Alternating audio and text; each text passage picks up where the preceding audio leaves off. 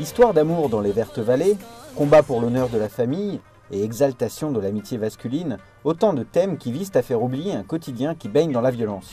Chassés de leur région, les cinéastes Pashtuns se sont repliés à Lahore. Les attentats et affrontements avec les talibans qui font rage depuis plus de trois ans ont totalement ruiné le cinéma local. C'est pour ça que les gens ne viennent pas au cinéma. Ils ont peur. On a d'ailleurs eu une bombe dans une de nos salles.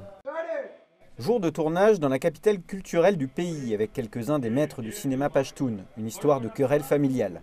Avec ces productions, les auteurs espèrent faire prospérer leur petite industrie et détourner les jeunes de la rébellion armée.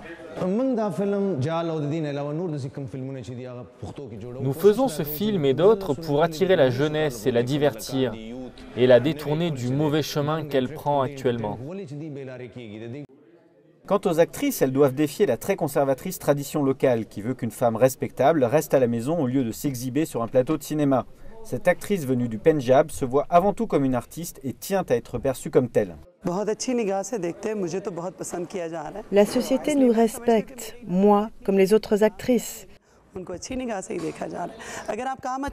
Mais ça dépend de notre travail. S'il est bon, les gens nous aimeront. L'argent est un véritable problème pour ces cinéastes pashtuns, désormais réduits à utiliser du matériel vétuste. Mais la passion demeure et l'enthousiasme compense l'image de piètre qualité.